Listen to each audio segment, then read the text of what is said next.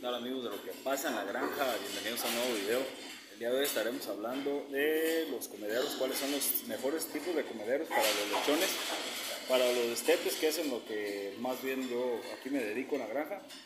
El primer modelo de, comedero que les voy a presentar son tres tipos de, de comederos que vamos a ver. El primero que les voy a presentar es este, este comedero que tengo aquí. Este comedero abarca para dos camas para dos camas es.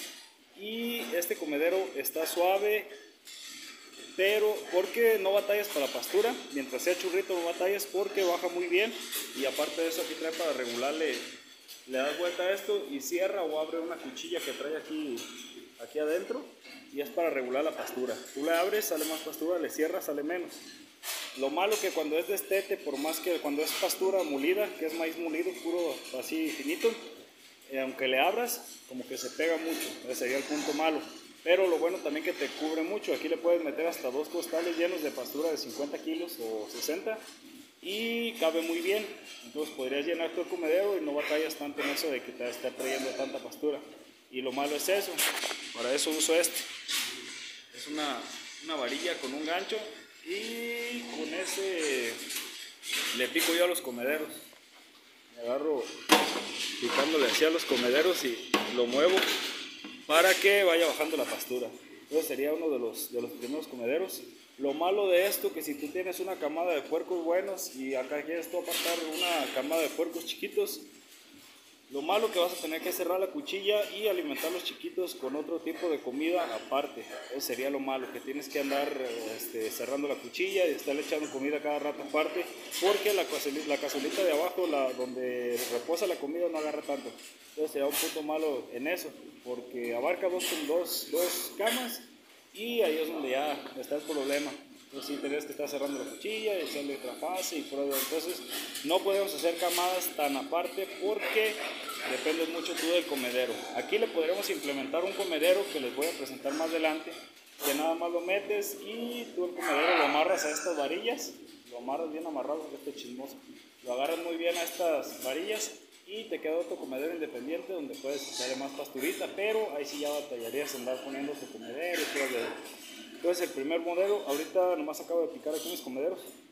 Bien brilloso, lo subí, sube, está canijo, calor.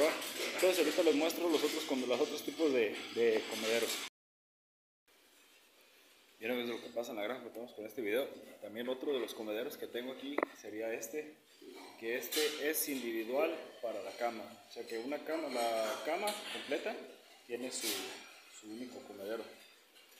Este comedor, la ventaja que tiene que en este sí puedes apartar tus camas. Puedes meter una, dos, tres camas de, buenos y si te toca una cama de chupitos que los quieres reacomodar, como quienes estuvieran aquí, tú les puedes dar aquellos, no sé, ya van en fase 3 y estos están retrasados, se puede estarle dando fase 2 con unos revueltitos. Entonces sería, sería un ventajón de eso. Y para mí, a mí, a mí, a mí, a mí me encantaría que todos los comederos tuvieran este tipo de, estas salas tuvieran tipo de, de, comederos, que todos tuvieran de este individual, porque con eso no batallas, puedes hacer tus apartados, les puedes hacer, les puedes dar un cierto tipo de comida, de otro y. Lo malo de esto que cuando ya están comiendo, cuando tienen churritos, puedes echarle medio comedero, se echa un comedero entero en la mañana, ya llevan la mitad, entonces para mañana en la mañana ya está casi sin nada o, o no tiene nada y ya se va a volver a rellenar el, el comedero. Y lo malo de este, la desventaja que tiene, que cuando ya están comiendo polvo, tienes que estar rellenando este comedor mínimo dos veces al día. Porque como no agarra mucho, agarra cuando mucho un solo costalito, no muy lleno. Entonces, esa sería la, la desventaja. No se agarra medio costal porque con un costal agarro dos comederos. A ver mis cuentas. Voy contando dos comederos por cada costal con dos polvos. Entonces, ese sería lo malo de estos. Casi la mayoría de las salas las tengo de, la 1 a la 4, 5 y 6 las tengo así. Y ya las otras tres salas sí las tengo ya de, los comederos esos grandes. Pero para mí, en mí, en mí, me encantaría que todos tuvieran de este tipo de comederos. Para mí son los mejores. Entonces ahorita nada más les muestro otro comedero que les digo es individual que se puede poner en cualquier lado. Y tenemos este video. Estuvo muy corto, pero nada más era para, para mostrar los tipos de, de comederos que tengo y cuáles serían para mí los, los mejores lo que pasa en la granja. Aquí tenemos el otro comedero que les digo. Es un comedor individual, este lo puedes adoptar tú a cualquier cama, a cualquier lugar. Nada más sería que tuvieras unos tubos incrustados en el cemento o unas varillas y lo puedes amarrar. A este comedero le cabe muy poco, no le cabe mucho, sería más bien para cuando están chiquitos los lechones, antes de destetarlos para que tengan su comida. Y lo que sí me gusta que tiene muy buena, muy buena charola, si le cabe ahí unos 15 kilos, si le caben ahí de, de comida. Y allá atrás de recarga yo creo que caben otros 15, se agarra unos 30 kilos de, de pastura. Entonces, este es el último comedero que les digo. Ahí también trae unos tornillitos. Se aflojan, subes o bajas la cuchilla para que niveles tú tu, tu pastura.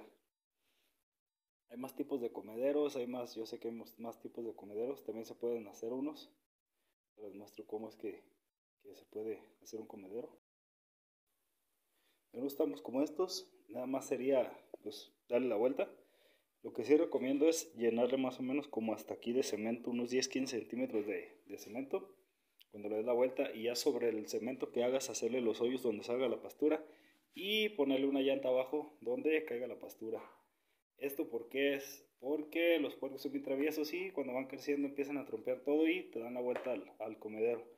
Y otra de las cosas sería hacerle agujeros a las llantas. Cuando lo tengas, hacer unos agujeritos en la goma y hacerles alambres y que peguen acá, como un tipo de división como tienen todos los, los comederos que les he mostrado, estas divisiones. Estas divisiones es para que los puercos por instinto siempre les gusta hacer esto, estar trompeando.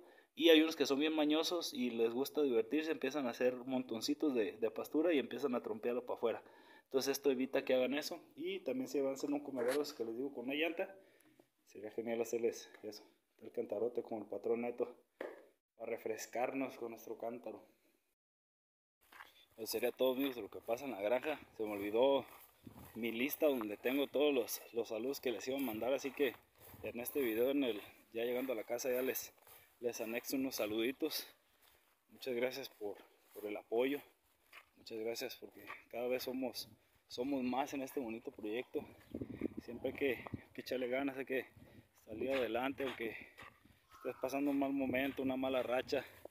Son cosas pasajeras y lo bueno dura más, más tiempo.